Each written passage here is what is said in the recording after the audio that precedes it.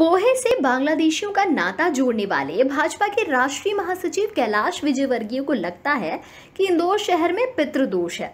इसी वजह से इंदौर का विकास नहीं हो पा रहा है।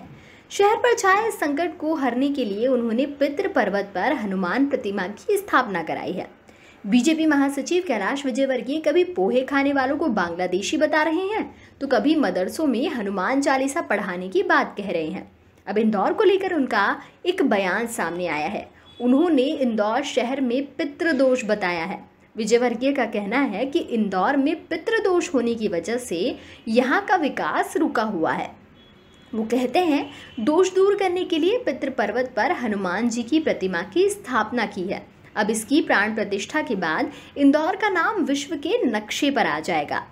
कैलाश विजयवर्गीय ने इंदौर में आईफा अवार्ड के आयोजन पर भी राज्य सरकार पर तंज कसते हुए कहा कि युवाओं का ध्यान बांटने के लिए कमलनाथ सरकार ये आयोजन कर रही है।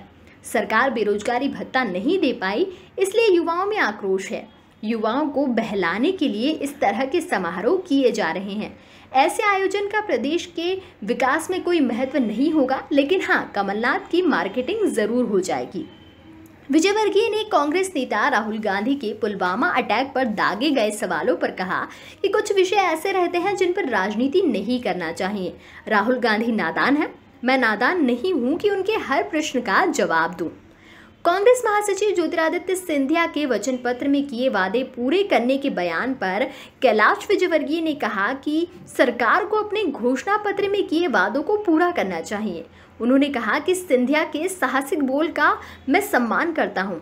टीकमगढ़ ज़िले में ज्योतिरादित्य सिंधिया ने कहा था कि यदि जनता परेशान हुई तो वो तलवार और ढाल की तरह उनके साथ खड़े रहेंगे।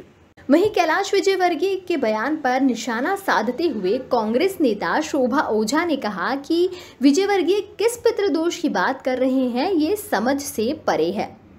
कैलाश विजयवर्गीय ने इंदौर के पितृ पर्वत पर भगवान हनुमान की अष्ट धातु की मूर्ति की स्थापना कराई है।